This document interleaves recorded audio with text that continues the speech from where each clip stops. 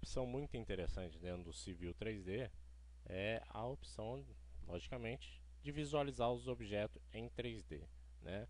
No caso aqui eu, eu alenquei a superfície para a gente estar tá demonstrando esse comando para demonstrar como é que a gente verifica em 3D os elementos, tá? Então eu vou selecionar aqui a minha superfície, tá? botão direito, Object Viewer. Em Object Viewer, vai abrir essa caixinha pequenininha aqui, você pode aumentar ela aqui, maximizar ela. Geralmente ela vem aqui em 3D Wireframe e eu movo para cima, né? seleciono na extremidade de baixo, clico e arrasto, movendo para cima, transformando em 3D a visualização. Tá? Eu vou colocar em Conceptual.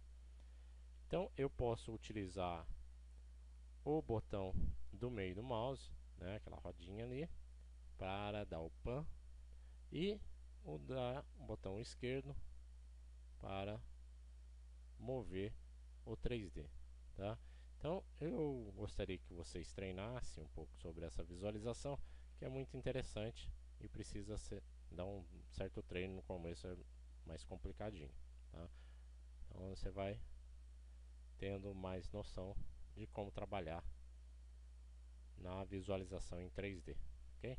Então, a gente pode ver aqui em 3D wireframe, né? então seria só a grade da superfície aqui.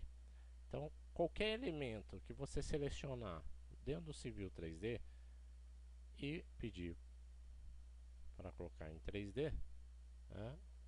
Object Viewer aqui, ele vai estar tá em, em 3D, tá vendo? Aqui a cotinha em 3D aqui, tá? É, outra opção interessante é você deixar diretamente na sua área de trabalho do civil uma janela em 3D. Tá? Então eu venho aqui em Viewer, ou venho aqui no Ribbon View, tá? Viewport, to Viewports Vertical. Tá? Então eu, eu venho aqui e coloco em 3D. E estamos aqui em 3D numa vista e a outra em planta 2D, ok? Valeu!